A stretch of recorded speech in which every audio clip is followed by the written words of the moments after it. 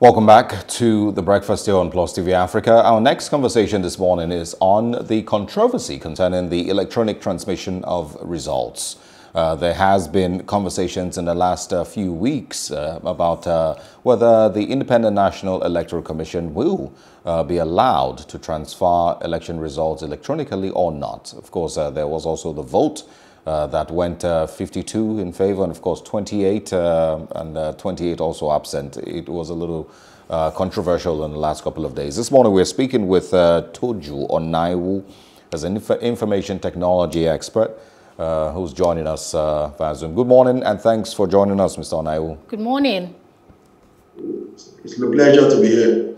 Thanks for joining us. All right, so, so let's um, start with the controversy um, some people have described it, you know, as disappointing that uh, we are stuck in this place where there's still a conversation concerning whether or not to allow for uh, electronic transmission of results. INEC, you know, had stated that they, you know, have the capacity to transmit electronically, uh, but the National Assembly doesn't seem to allow or agree with them entirely. So let's get your thoughts first of all on the controversy. Oh yes, um, this uh, it's pretty disappointing, but not so strange. Uh, we are fond of, as a people, having, we need to keep going back and forth on doing what is right.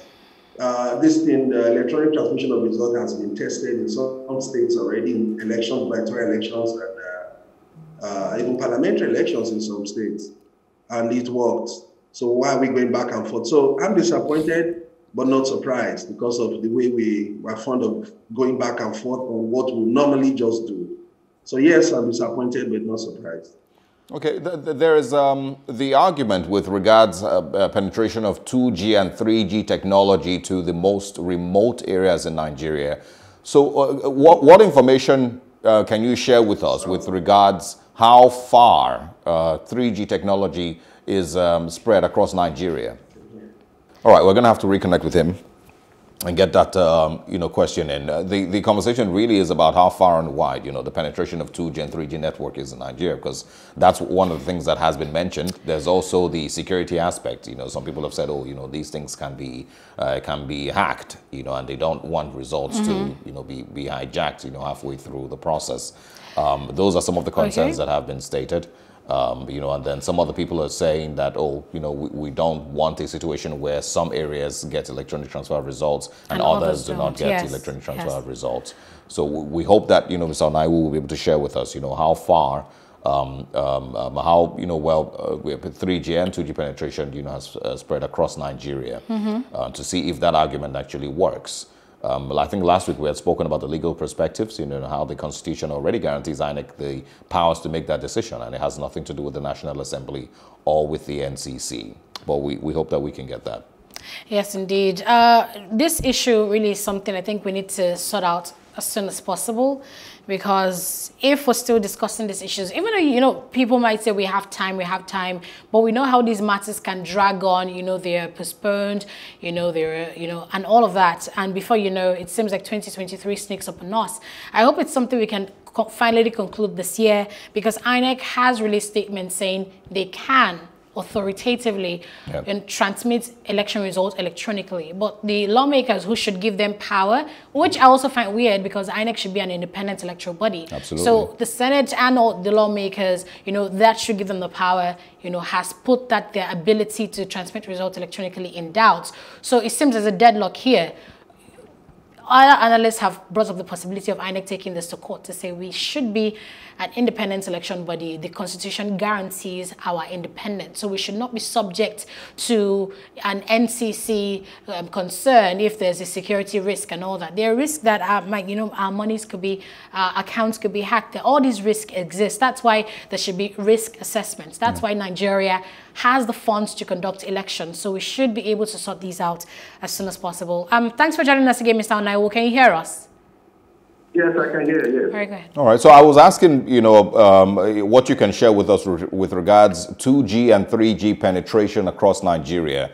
There's uh, some arguments that uh, that might be one of the reasons this might be difficult to pull off. That there are certain areas across the country that do not have adequate 2G and 3G uh, yes, network. Okay. This, this, this, yes. It's Uh, it's really not about uh, technology. It's about what we want as a people. What is it that we want to do? We want to have credible elections. We want to have elections that uh, that when you people go to court, the court will say no, you have no case here. So, so that it will stop this incidence of having uh, uh, the uh, judiciary giving victory to elections. That we want to stop that. So, in other ways, in other words, what do we want as a people? We want a we want credible elections. So the technology is not the issue. Technology is available. As I said before, we've done this election, we've done we've done transmission of results in some states. In some states, the gubernatorial elections, and it was successful.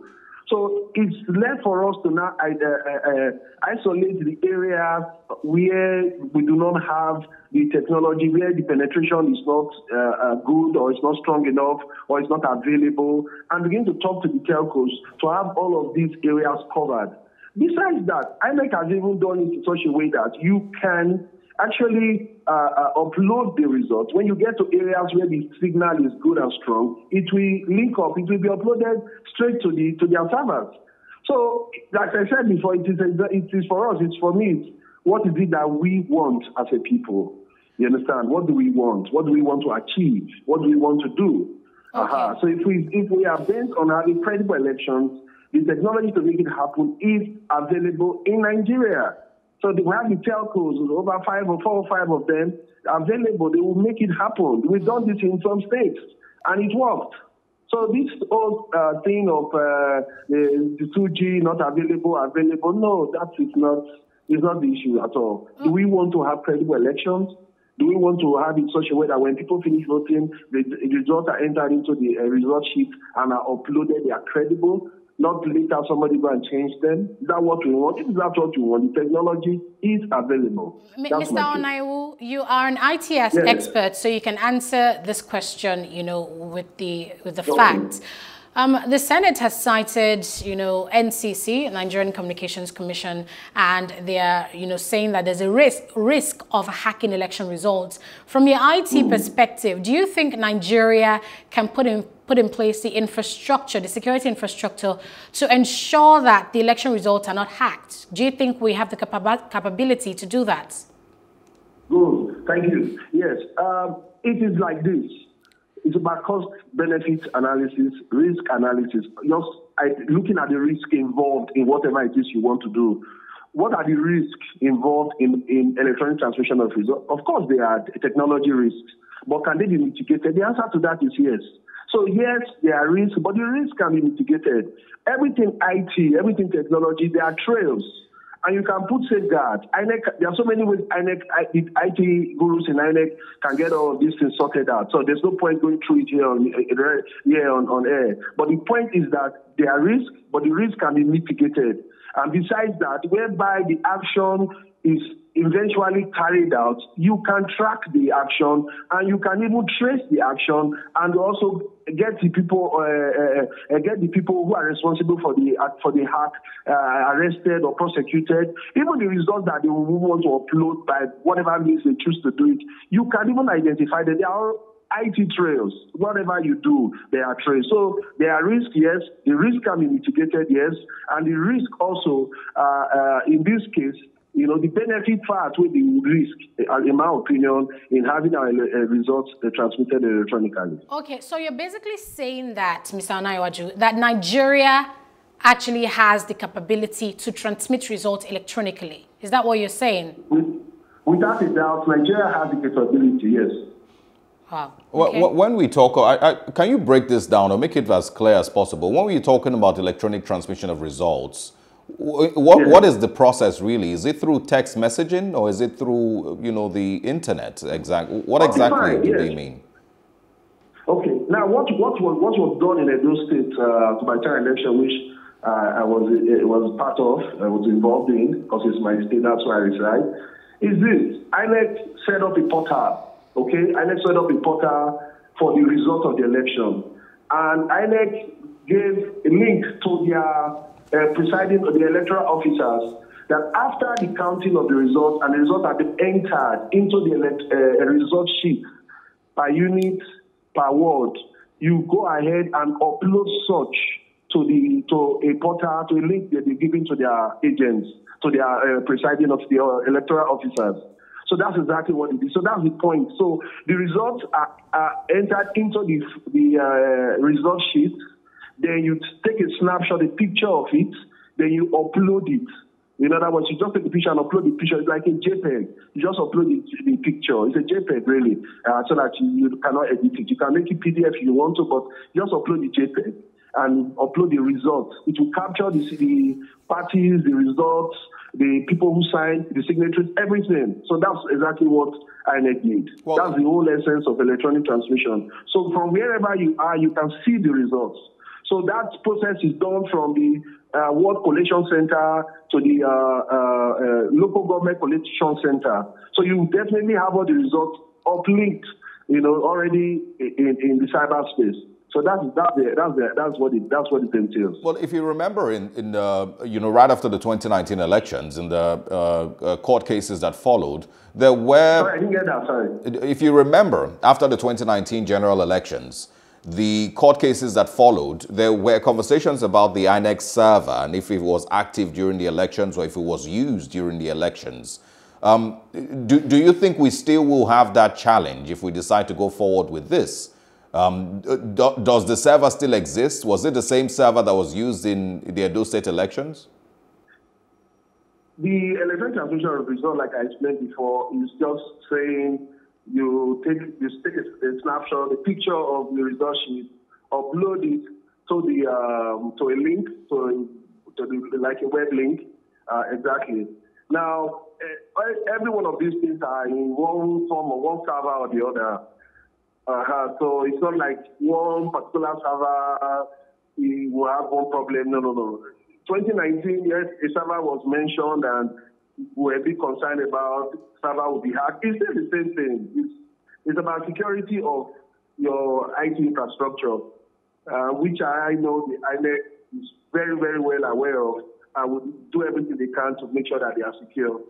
In any case, they can be, you can track or uh, any attempt to hack or, you know, like I said, when it comes to technology, the, there are risks, but there are also mitigating Uh, uh, uh, things you can do to ensure that that the risk are minimized. And where the, the eventual threat eventually comes takes place, you can trail them, you can track them, and you can do some remediation of whatever actions that were attempted or mm. done. Yeah. Okay, so um, also we know that the Senate said that they're basing uh, their decision on an NCC uh, submission, which is that there's a risk attached when you transmit results electronically. Yeah. Do you think that the NCC should be involved in election conversations? And also, if yes, um, why do you think they're not focusing on the solutions? You know, like you mentioned that the risk can be mitigated instead of the challenge. Well, um, you know, the, your, your, questions are quite apt, but um, I would like to want to say the NCC as a regulatory body, the, I, I, think I, I, listened to what more I read some of the things that the guy that from NCC said. Uh, he was trying to give the penetration of uh, uh, 2G, 3G across the country, uh, not really coming out to answer the question of whether it is yes or no. You know, it was a bit ambivalent. But the point of the matter is that um, INEC is saying that they've had conversations with the technology, uh, the telecommunications providers, and they have guarantees that by 2023 we'll be able to conduct this election. We're going to conduct the election and transmit the results electronically. I, I think we should believe INEC. They are empowered by law, by the Constitution, to conduct elections. And if they say that it can be done, so be it. Right. Um, and to adduce any reason why uh, all of this is not clear, you know, between INEC, between the, the legislators and NCC, I don't know. I think your guess uh, is as good as mine as to why all of this is. You know, some people are just afraid for unnecessarily, because there's no point for, for the fear. That, that's, that's what I will say. Toju Onaiwu, thank you very much for your time this morning. Thank you. Uh, thanks for speaking with us. Um, all right. It's just pretty funny how uh, we are in a country where there has been, in the last, you know, three, four, four, five years, you know, there's been a lot of very brilliant uh, strides with information technology, with startups. You know, some of them have been, been bought off for $200 million, uh, if you remember. We have some of the most brilliant minds with regards to information technology in Nigeria, but yet we can't transmit results. No, we actually can. He mentioned we can. It's the willpower well, at the end of yeah, the day. you know, but the, we really well, want well, to there's people who feel like that we cannot. Um, it just doesn't, and, and it, it makes, it gives more credence to people who say, well, this is really just about, you know, certain people who are scared about losing the elections because there is no excuse. And like you, the, one of the questions you asked, the last question you asked actually was, um, was uh, is where this is coming from. Why aren't we focused on how can we exactly, how can we solve this? We have all the resources that we should be able to put into Because even with manual, manual collation, manual transmission, there are risk, risk of loss of yes. lives, ballot box, box snatching, all the insecurity. So those risks, there are risk any, any way you look at manual, electronic. So it's what do you think is the best, what's the best, what's the best challenge? Which we, is which would be which seems to be online according to what you know the, these experts are saying. So really we should focus on the solutions. And do we have the solutions? Yes. It's just the political will to implement them. That's what it seems like a 25 right year old from any of the startups across Nigeria information technology startups across Nigeria today can solve this problem easy um, it's not actually a problem, but since they've decided to make it a problem, any young person that works in the IT sector can simply solve, solve this It's possible out. that there are many um, youth who have solutions to this, and maybe I have even pitched them, but you know, not hearing a word back. But right. the point is that it's a solution that we can solve. Yeah. There's a problem. Rather, it's a problem that we can solve. All right, we'll take a short break. When we come back, we're celebrating women on a Monday morning, and that's because there is a new bank MD in Nigeria, and she's female. And so we're going to be having a quick conversation about that and uh, what more strides Nigeria needs to take with regards more women in uh, positions like that. Stay with us.